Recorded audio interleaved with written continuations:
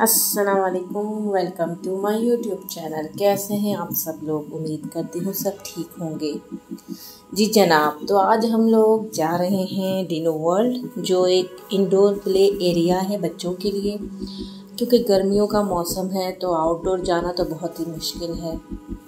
तो सोचा क्यों ना बच्चों को लेके जाएँ वेकेशंस भी हैं इंडोर प्ले एरिया में, जहाँ बच्चे खेल भी सकें इंजॉय भी कर सकें। और आई होप कि आप लोग को ये वीडियो पसंद आ जाएगा। Please don't skip my video end तक देखिएगा। Like share and comment also